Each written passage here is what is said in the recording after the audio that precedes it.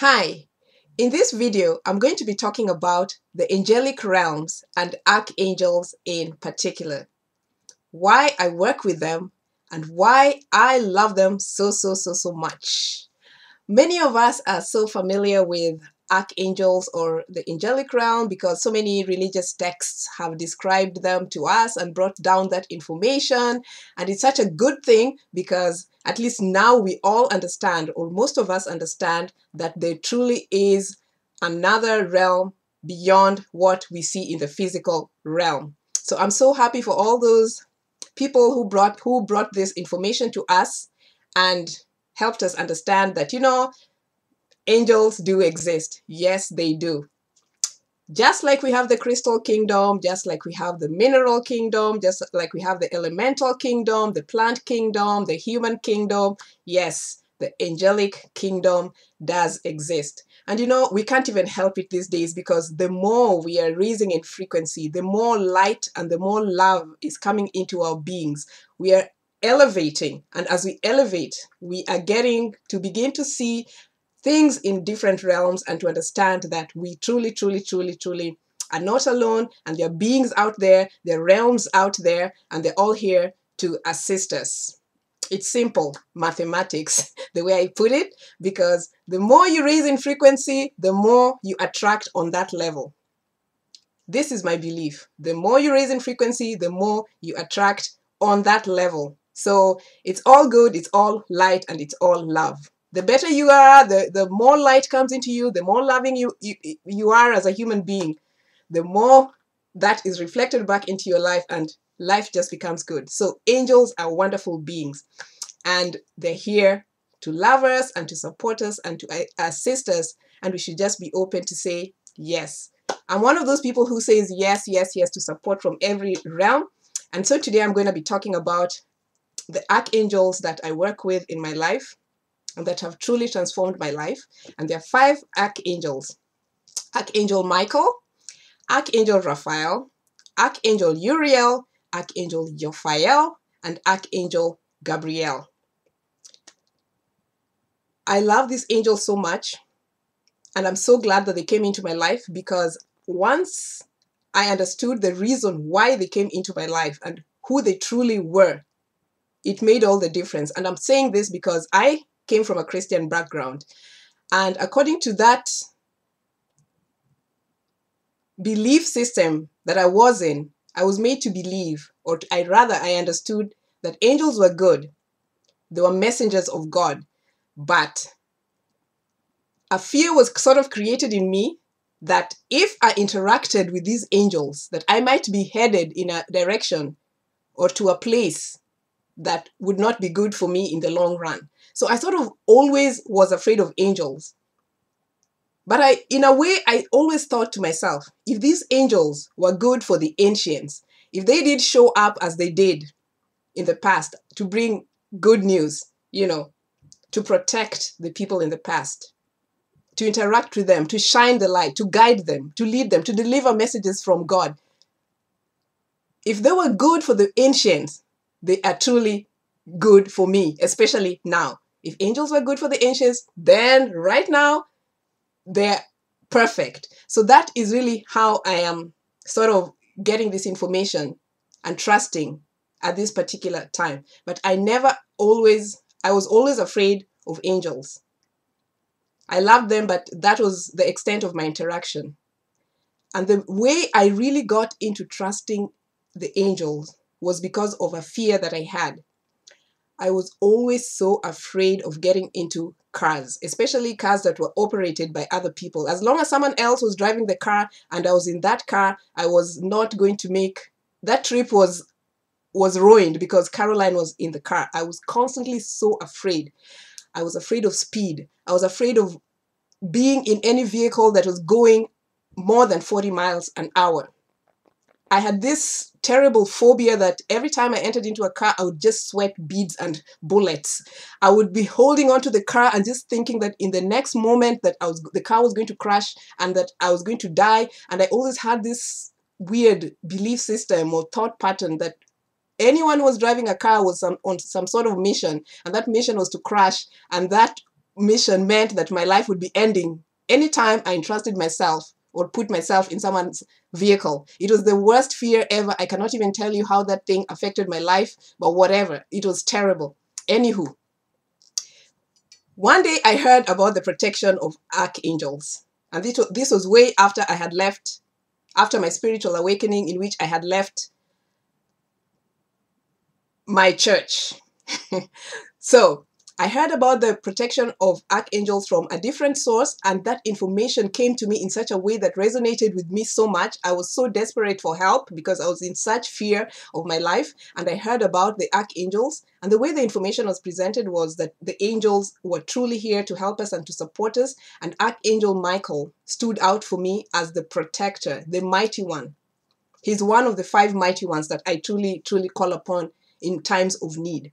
So Archangel Michael is one of my angels for protection. And I mean protection not from from uh, others or for, out of fear. I, I don't mean protection out of fear. I want to make this clear. It's not protection out of fear, but protection in the sense of adding more light and love into my life. We are now really operating not from places of fear, but from places of love. To, when more light is added into our beings, we are protected by love and by light.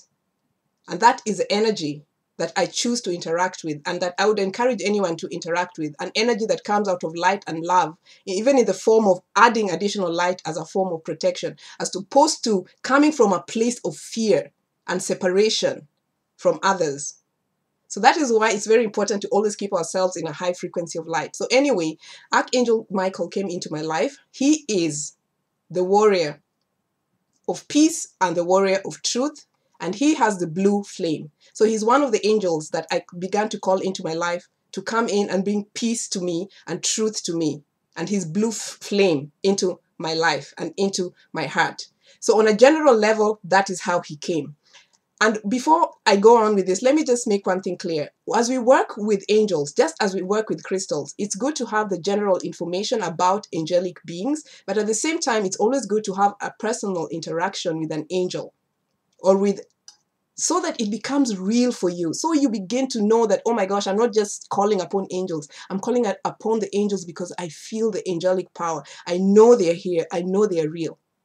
So always aim to have that personal interaction with with angels just as you have with other beings like crystals. But i'm also happy to say that i have learned that whether we believe those things or not they're always here working on our behalf and for our good.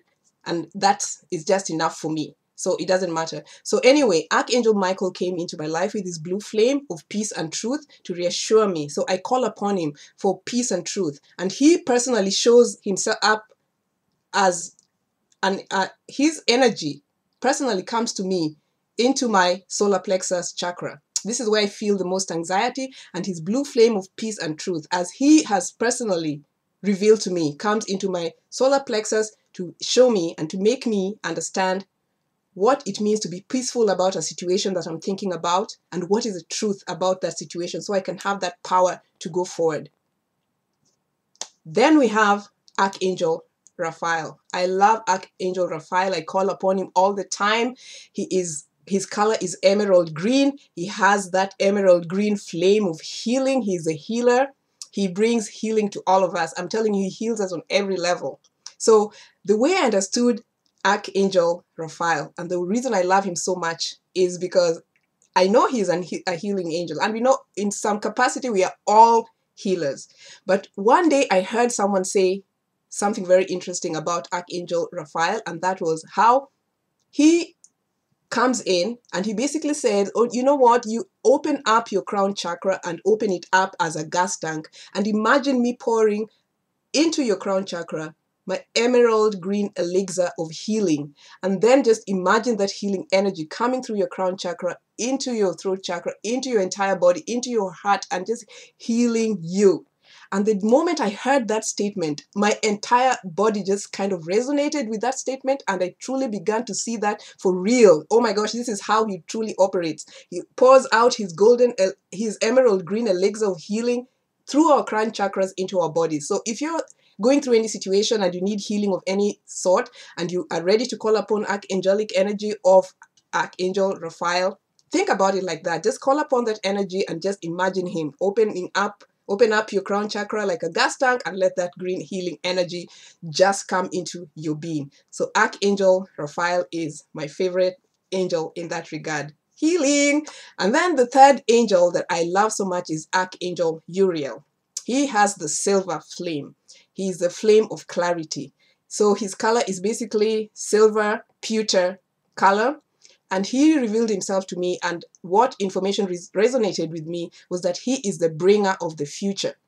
He brings the future into the now moment. His flame is silver, and that provides clarity. That is what the future is. This is what you can envision with your eyes. This is what your dream about the future is. Now, bring it into the future. And so Archangel Uriel brings the future into my life and into many other people's lives who believe that same vision. And how he revealed himself personally to me was that he was going to be operating through my throat chakra to bring clarity into my life. The throat chakra is usually blue in color, but we should always, always go by how we are guided. So Archangel Uriel revealed to me he was going to be operating, even though he's a silver flame is going to be operating through my throat chakra to help me bring the future into the now moment. The throat chakra deals with expression, with authenticity, with truth, with clarity of that expression. So he revealed to me that that was how he was going to work with me. Remember, there's a general way of seeing things and interacting with energies, but they, you also always have to follow your personal intuitive feelings and the personal messages that come through to you from any realm. So that's Archangel Uriel. And then there's Archangel Jophiel, who represents the magenta flame. I love Archangel Jophiel because he reveals to me really First of all, the magenta flame totally resonates with the third eye, my third eye. So he really represented to me a sense of awe and adventure. The adventure of going within, the awe and the wonder of discovering who you are within the realms. When you look with your inner eyes and with your mind and with your heart and go deep down and you begin to see all those magical things that are happening, who you can truly become, you truly begin to remember and you get that sense of awe and wonder. That to me is Archangel Jophiel. He is the bearer of the magenta flame, and he truly, truly resonated with my, my third eye chakra. And I, whenever I need to go within, it is him that I call to so that I can be able to see that sense of awe and that sense of wonder and the adventures that my life is taking on, and to say yes to them. I'm telling you, it's amazing. Once you begin to understand some of these things, it's just so thrilling. I, I I'm telling you, it's just awesome. So I love, love archangels. And then finally, I love, love Archangel Gabriel.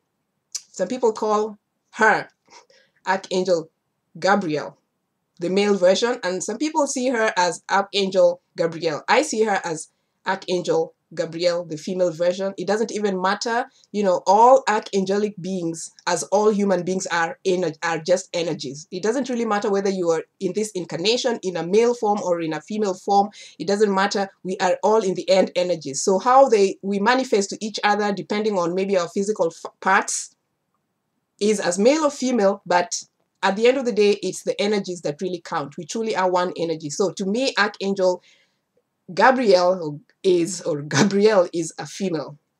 So the way she has shown up to me, her color, first of all, is gold. The old gold color, Florentine gold. That is how I understand her, and that is how it resonates with me.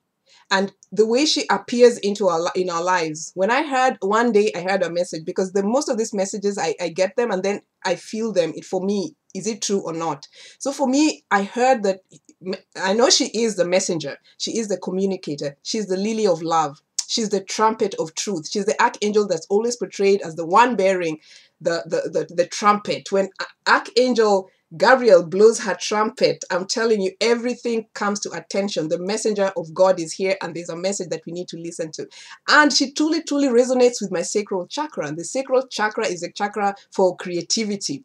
So when she blows that trumpet, I know it's time for creation. I know it's time to have bubbles of joy because I once heard that she brings the gift of bubbles of joy and she pours out that gift upon us. And she was actually asked the human beings to accept the gifts of bubbles of joy. And those bubbles of joy come into my sacral chakra the way I see her. And I resonate with that energy of creativity whatever it is that I'm doing I feel the bubbles of joy I ask for the bubbles of joy in every creative uh, venture because I know this is where she really really works for me personally Again, just to say, angels can show up in any form. There's a general way that angels are perceived. They're beautiful light beings of love and they're here to support us and to work with us in unity so we can all, you know, accomplish the greater greater good that the universe is here to create. But at the same time, they work with us specifically. And you might get information that's more specific to you in how the angelic beings work. So angels basically according to my understanding, there's no hierarchy. The way human beings have been trained is that there should be some form of hierarchy. Archangels are greater than the angels or, or, or, or the guardian angels. This is, according to me, or the way I understand it now, not truth. Archangels, whether there is the seraphims or the cherubims, the seraphims are the ones who defend the, th the throne of God they face the throne of God. Then you have the cherubims, those cute little ones, you know, the cute little ones that we see on Valentine cards or in the churches that look like little baby angels. This is how they they present they've been presented to humanity in a way that's easy for humans to absorb but they really are not that they truly are powerful beings and they they are pure pure love and they transmute they transmit light and lots of love to all kingdoms in the earth and in other realms and on other planets and on other dimensions. So those are the cherubims. So we have the seraphims, then we have the cheru uh, cherubims, and then we have the archangels, and then we have the angelic legions. And then you have the guardian angels who are here incarnating with you in this particular this particular time to help you, to guide you, to remind you of who you are. A magnificent, powerful being of light, radiant one. Yes, yes, believe that. Yeah. So we have all these beings, these levels, but they're not hierarchical. They're based on mission. It is based on mission and not hierarchy, the way the human beings have, have been trained to believe that, you know, the hierarchies and hierarchies. All are doing their functions according to mission, and none is greater than the other. We are all one. So, do you work with archangels? I would love, love, love, love to know whether you work with archangels, how they're interacting with you. You know, have you seen them around? I know archangels appear to us in various forms. They appear in humanoid form as humans. You know, there's so many beings right now who are angels or who really have that angelic energy. Archangels appear just the way they appeared in days of old in human human form. They appear as orbs of light, as streamers of light, you know, as flashes of light, as in very many ways, shapes, or form, you can feel their energies. One day when I felt the presence of an archangel, it was the sound of a reverberating boom. I cannot tell you the sound of powerful wings. And I knew in my heart, my gosh, this is an angel. I did not know what it was, but I knew for a fact that, oh my gosh, oh my gosh, oh my gosh. Yeah, based on the experience I had, it was totally an angel and I loved it, loved it. So I know people work with archangelic forms in their work, you know, in, in life. They invite them into their homes. I, since my, my deep understanding of how angelic beings are here to protect me, my fear of being in people's cars totally uh, dissipated and now I'm the one riding on the freeway like you know no one's business and I can get into anyone's car without any problem so yes yeah so Archangels have been so useful to me. I would like to know if you work with archangels. Oh my gosh, there's so much love and support. Be open, be ready. Just, it's such a blessing. We are living in such beautiful times. And I would like to know about your experiences with angels and archangels or things of that nature. Just be open. There's so much more. This is our time. It's a beautiful time. So guys, I'll see you next time. Keep your eyes open for the angels for they're all around us. I'll see you next time. Love you. Bye.